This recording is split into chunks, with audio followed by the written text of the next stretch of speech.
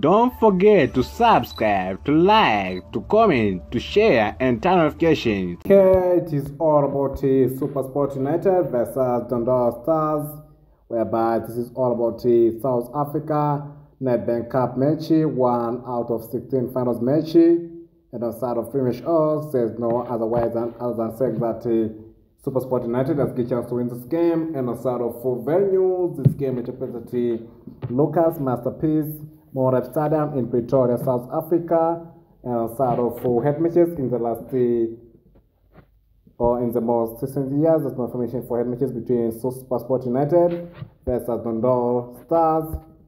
So as long as we have limited information, we have no way other than waiting for the end of this game, whereby at the start of this game, a new history will be today, and we'll be having one head matches between the two teams.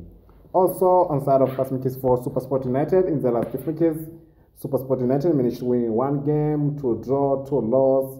Bad performance. All four matches are DSTV Premiership matches, whereby the most recent result was in Super Sport United versus Cape Town City.